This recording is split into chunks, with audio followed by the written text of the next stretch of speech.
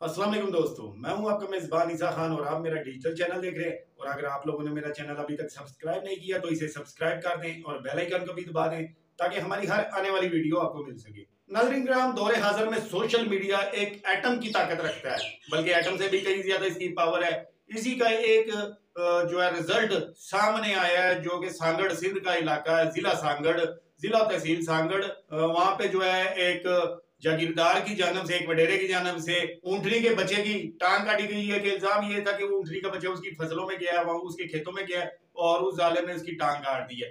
مین جو معاملات ہیں وہ ابھی میں آپ کے ساتھ ڈسکس کرنے لگا ہوں۔ اس سلسلے میں، اس حوالے سے سوشل میڈیا پر اس اونٹنی کی جو ہے خبر زور و شور سے نشر کی گئی اور لوگوں نے اسے بے انتہا شیئر کیا، جس وجہ سے اس زمین کا مالک جو تھا غلام رسول جس کا نام ہے، اسے گرفتار کر لیا گیا اور پابند سلاسل کر دیا گیا۔ اس کے بعد اس نے ضمانت کروائی اور ضمانت کروانے کے بعد اس نے ایک ویڈیو بیان جاری کیا۔ اس نے اپنے ویڈیو بیان میں جو کہا، میں آپ کے ساتھ ایک ایک لفظ شیئر کرنے جا رہا ہوں۔ اس وڈیرے غلام رسول کا کہنا تھا کہ وہ زمین میں نے کافی عرصہ پہلے سیل کر دی ہے۔ اس کے کوئی رشتہ دار ہے، اسے سیل کر دی ہے۔ انہوں نے کہا کہ میرے خلاف سب سے پہلی پوسٹ جو نشر کی گئی ہے صحافی امیر در خان بکٹی جو ہے، اس نے شیئر کی ہے، جو کہ سانگڑ گئی۔ مقامی صحافی ہے اور سوشل میڈیا ایکٹیوسٹ بھی ہے، اس نے شیئر کی ہے میرے خلاف خبر اور اس کے بعد لوگوں نے اسے دھڑا دھڑ شیئر کرنا شروع کیا۔ لیکن اس صحافی نے بیچ میں اس چیز کی انویسٹیگیشن نہیں کی کہ یہ زمین جو میرے نام سے منسوخ کی جا رہی ہے، وہ میں نے کافی عرصہ پہلے شیئر کر دیا۔ فیصلہ تو ناظرین، آپ نے کرنا ہے میں ساری بات رکھتا ہوں۔ اس وڈیرے کا کہنا ہے، غلام رسول جس کا نام ہے، اس کا کہنا ہے کہ سوشل میڈیا پر میرے خلاف بے بنیاد پروپوگنڈا کیا جا رہا ہے۔ اصل جو ملزمان ہیں، انہیں گرفتار ہونا چاہیے۔ حالانکہ ایک طرف اونٹنی کے ساتھ ظلم ہوا دوسرے طرف میرے ساتھ ظلم ہوا اور میرے ساتھ ظلم کروانے والی یہ جو سوشل میڈیا کے صافی ہیں، انہوں نے کروایا۔ انہوں نے کہا کہ پنجاب حکومت کی طرح سندھ میں بھی ایک ایسا قانون بننا چاہیے جس سے حتقی عزت کا دعویٰ دائر کیا جا سکے اور کسی کی پگڑی چھالنے پر اس کے خلاف کاروائی عمل میں لائی جا سکے۔ انہیں کہا، اس حوالے سے جو ہے، سانگڑ پولیس تفتیش کر رہی ہے اور مجھے یقین ہے کہ مجھے بے گناہ کیا جائے گا۔ تفتیش میں میں بے گناہ ثابت ہوں گا انہیں کہا جس طرح اونٹنی کے ساتھ ظلم ہو رہا ہے اسی طرح میرے ساتھ بھی ظلم ہو رہا ہے وہ زمین میں نے فروخت کر دیا اس زمین کے ساتھ میرا کوئی لینا دینا نہیں ہے وہاں پر تو میں جاتا بھی نہیں ہوں یہ اس وڈیرے کا کہنا ہے تو ناظرین ویسے تو جو سندھ کے وڈیرے ہیں جتنے بھی وڈیرے ہیں وہ سب ایک جو ہے نا جابرانہ اور جاگیردارانہ سوچ کے حامل افراد ہوتے ہیں اور انہوں نے ہمیشہ سے جو ہمارے پاس سننے میں خبریں آئی ہیں، انہوں نے ہمیشہ وہاں پر ظلم کیا اور اپنی چودراہٹ جو ہے چمکانے کی کوشش کی ہے۔ اور میں حیران ہوں اس دور میں بھی کہ سوشل میڈیا پہ اتنا فعال دور ہے، سندھ اور سانگڑ اور آس پاس کے علاقوں میں یہ ظلم و ستم آج بھی جاری ہے۔ وڈیرے جرگوں میں فیصلہ کرتے ہیں جرگہ فیصلہ کر کے جو ہے نا بہت بہت غلط فیصلے جو ہے وہاں پر کیے جاتے ہیں۔ اس کی وجہ کیا ہے؟ وہاں پر غیرت انا ذات، پات، ان سب کو مد نظر رکھ کر تو یہ فیصلے کیے جاتے ہیں۔ اس کے علاوہ ناظرین، غلام رسول وڈیرے نے کہا کہ جتنے بھی یہ سوشل میڈیا پر صحافی ہیں یہ خبر کی تصدیق نہیں کر دیتے اور اسے شیئر کرتے جاتے ہیں۔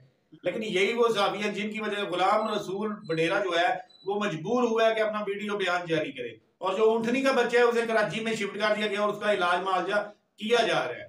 تو اب ان کی جو ہے، سانگڑ پولیس وہ انویسٹیگیشن کر رہی ہے، تفتیش کر رہی ہے اور اصل حقائق جو ہے اکٹھے کیے جا رہے ہیں۔ لیکن کیا ہوگا؟ یہی ہوگا، جو ڈیرے کرتے آ رہے ہر چیز خرید کر تو وہ اپنی چوتراہٹ کو جو ہے نا قائم کرتے ہیں۔ لیکن سوشل میڈیا نے غلام رسول وڈیرے کی جو ہے نا اینٹ سے اینٹ بجا دی ہے۔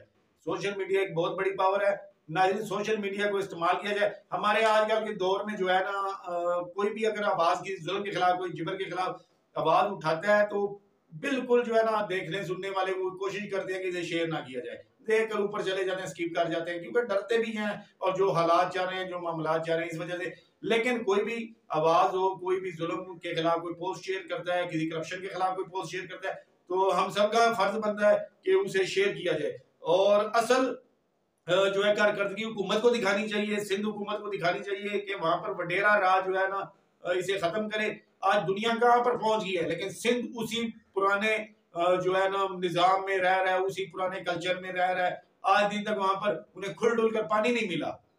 اس دور میں بھی اگر انہیں پانی نہیں مل رہا تو کب ملنا ہے؟